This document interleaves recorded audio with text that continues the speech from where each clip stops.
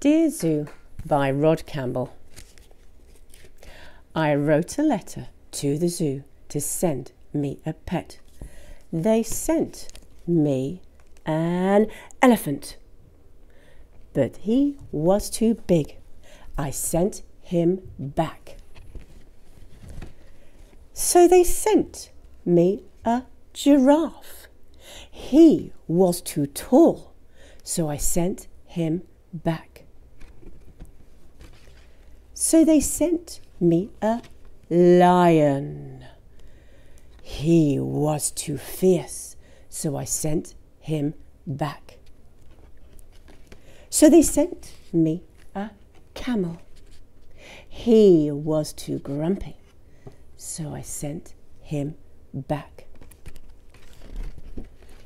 So they sent me a snake. He was too scary. I sent him back. So they sent me a monkey. He was too naughty. I sent him back. So they sent me a frog. He was too jumpy. I sent him back.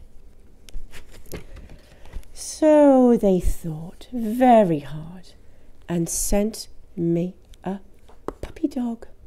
He was perfect. I kept him.